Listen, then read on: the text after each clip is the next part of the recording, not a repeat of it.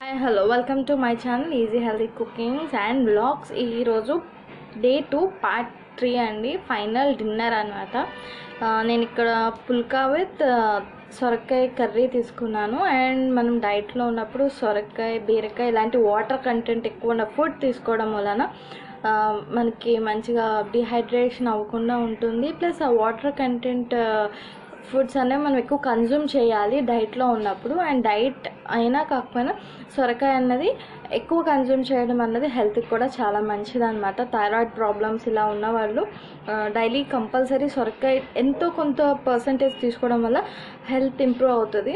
And thyroid levels అనేవి కొంచెం control అవడానికి సొరకాయ అనేది మనకి చాలా హెల్ప్ బాగా హెల్ప్ చేస్తుంది అనమాట finally my day two was ending with a phulka and సొరకాయ కర్రీ అండి.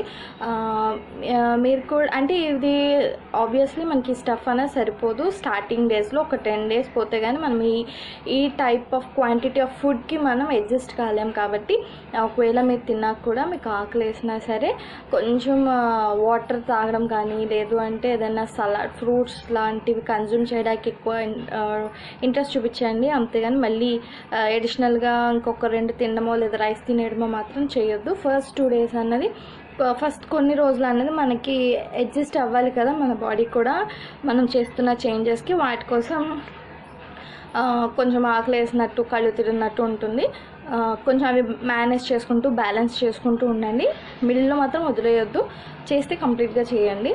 సో కనుక మీకు నచ్చినట్టయితే please subscribe our channel and thanks for watching